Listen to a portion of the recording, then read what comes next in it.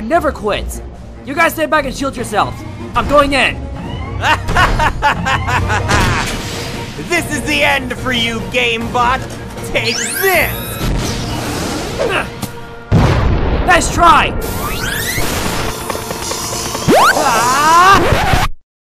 yo! what's up guys? GameBot2000 here. Now, you may be wondering, how did you meet those friends of yours, and why in the world are you fighting this purple teenager with spiky hair from some kind of comic convention?